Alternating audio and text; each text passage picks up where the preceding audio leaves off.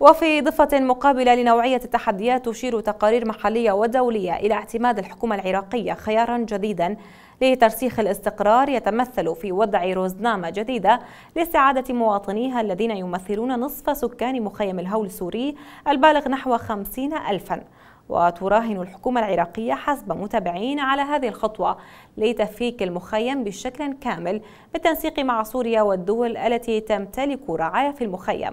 وبما يجنب الجميع مخاطر إعادة تنشيط الفكر الإرهابي وتجنيد الأطفال تحت ما يسمى أشبال الخلافة يقابلها نسبة ولادات متزايدة داخل الهول وتستند المخاوف العراقية من المخيم إلى معطيات عدة من بينها تسجيله حالات اغتيال متكررة ومحاولات فرار أسر داعش في اتجاه الحدود العراقية ما رجح خيار إعادة العراقيين وأسرهم بوجبات منتظمة إلى مخيمات داخل العراق.